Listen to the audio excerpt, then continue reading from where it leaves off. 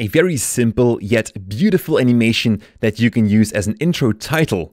This tutorial will cover the basic and most fundamental techniques to making animations inside Premiere Pro.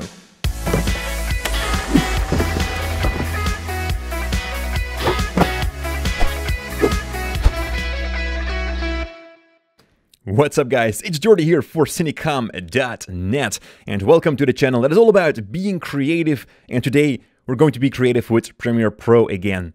We're going to make this awesome animation here and it covers some great techniques that are fundamental if you are starting out to making animations inside Premiere. So let's get started. The first thing I'm going to do is create a new sequence. So you can do that from the new item menu right here and then click on sequence. And let me just give that a name. Let's say awesome title. There we go. And uh, I'm first going to drag in a clip that I'm going to use as the background for this title. Got some light bulbs right here. So just drag that into your timeline. And I'm just going to keep the same settings. There we go. And uh, on top of that, I'm going to create the title that we're going to use. Go to that new item menu and head over to title. And this is going to be the main title. Press OK and it pops up on my other screen. There we go. And uh, so let's just make a title in here. Something that works pretty well are big letters, all in capital. But, uh, you know, it's completely up to you what kind of style that you would like to use here. Welcome to light bulbs. And as the font, I'm going to use the Arial. And uh, let's pick out something like bold here. There we go. And make that pure white, looking awesome. So you can scale this up a little bit if you like to. Now, very important here is that we are going to stick above the center line. And you can see that we've got this little line right here that represents the middle. And what you can do to make sure that you are above that is first align your text just above that line somewhere like this and then press this little button right here horizontal center and that will actually put it in the middle now don't click the vertical center because that will position it on that line and you want it to be above that line there you go then just close your titler and uh, you can already drag that title in your timeline and the next thing that we're going to do now is create another title, and this is going to be the uh, the subtitle actually. So uh, let me just name that Light Bulbs. And uh, let's make that a little bit thinner. Also here, take back that Arial. And as for the font style, I'm going to use just the regular font. Perhaps make that a bit smaller. There we go. Also again here, now we're going to stay below that line, like so. And we're going to center that up again. This looks awesome. All right, just close that titler again and drag in your text now above that one. But there's no animation yet, so that's what we're going to create right now. The first thing that we're going to animate is the actual video. And we want it to open up some sort of a transition. And that can be done with the crop effect. So just head over to your effects library and search for crop. Drag that effect onto your video clip and head over to effects controls. And from here in the crop effect, you can see that we have several options here to yeah, crop the image. And to make it go open, we first have to close the video. So we're going to crop from the top and uh, I'm just going to put that on 50%, which is right in the half. And we're going to do the exact same thing for the bottom. Also put that on 50%. And now it's closed. Then create keyframes for that, for the top and the bottom. And move a little bit forward in time.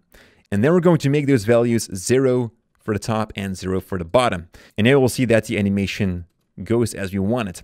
Now, if this goes too fast for you, then just take these two last keyframes and move them a bit to the right, like that, and now it takes a bit longer. Now, this is something very crucial here. Animations only look good if you smoothen out the keyframes. Currently, this animation starts very hard and also ends very hard. And to make it start smoothly and also end smoothly, it's actually very simply done by just saying to this keyframe that it doesn't have to be linear, but that it has to be a Bezier or an ease in or ease out. And that's simply done by just selecting the keyframes that you want to be eased, then right click on it and say ease in. Uh, now you might think, why not select ease out? Because this is the last keyframe. Well, I'm going to select ease in for here. And that's because the animation comes from the left and comes in to the right. So for the first keyframes, I'm going to select both of them, right click and say ease out as the animation comes out of this keyframe. And as we're going to play this now back, you'll see that the animation starts way smoother and also ends smoother. And that's exactly what we want.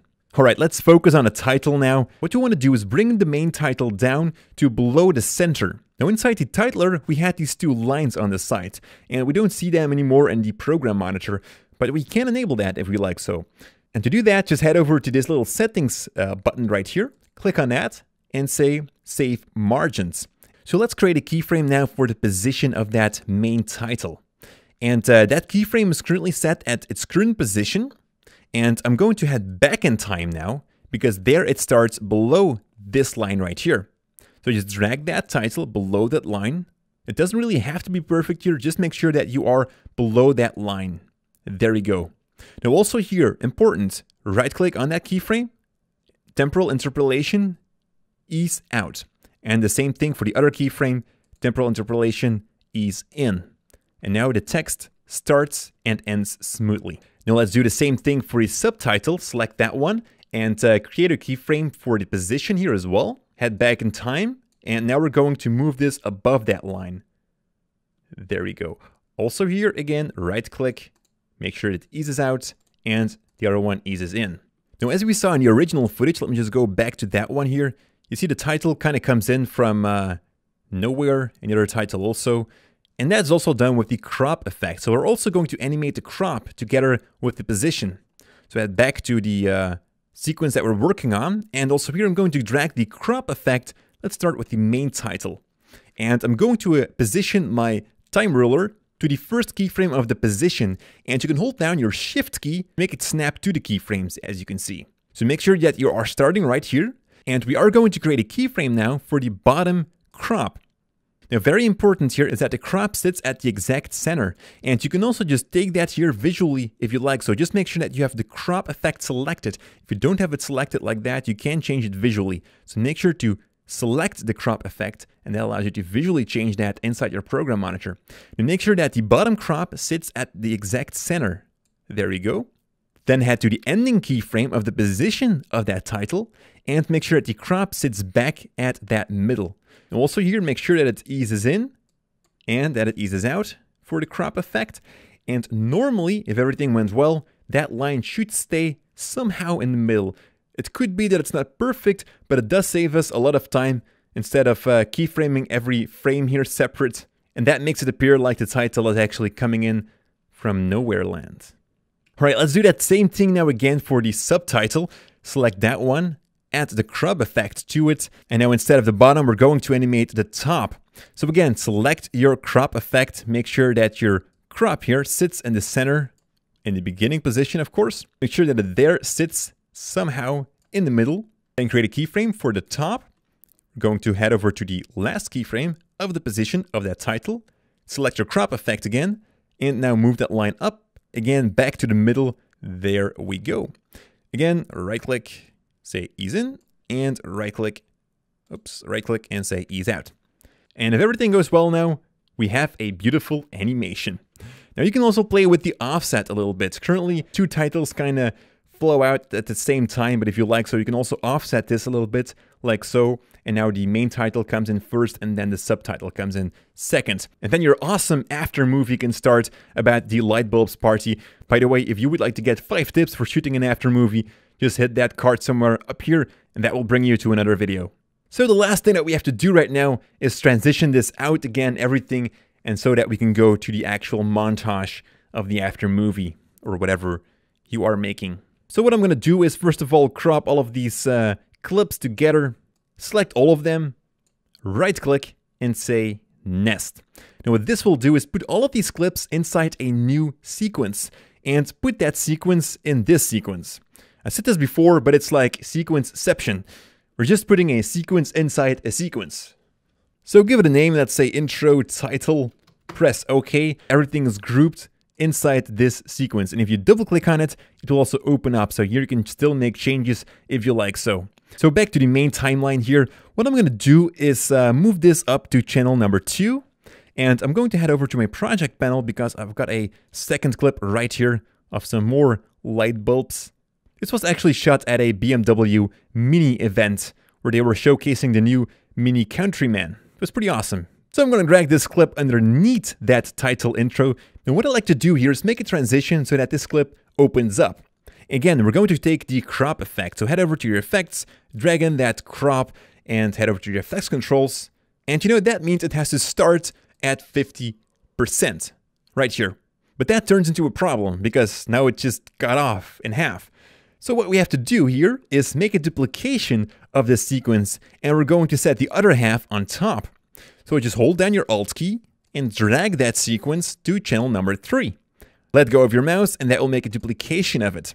But make sure you hold down that Alt key, very important here. Then inside your crop effect of that second clip, we're going to set the top to 0 and the bottom to 50. The top clip contains the top half of that clip and the bottom clip contains the bottom half of that clip. And what we can do now is very easily, I'm going to start, when the clip below this intro title starts, I'm going to create a keyframe for the bottom and also here for the top. Then I'm going to move a bit further in time and we're going to set this to 100 now so that it opens up from 50%. And we're going to do the exact same thing for the upper half. Also there, the bottom goes to 100 now. And as you will see now, the animation will open up that clip. Now, some of you might think, hey, Premiere Pro has this transition, so why do all this effort? You know, we can just drag and drop a transition right here from the video transitions to have that same effect. Well, here is why. That transition, unfortunately, cannot create smooth keyframes, and that's the whole thing about this tutorial. We have to create smooth keyframes to make the animation look professional, to make it look good. So also here, right click on your keyframes, say ease in, and for your one, ease out. The same thing for the other clip here, the bottom half, make it ease in and make it ease out.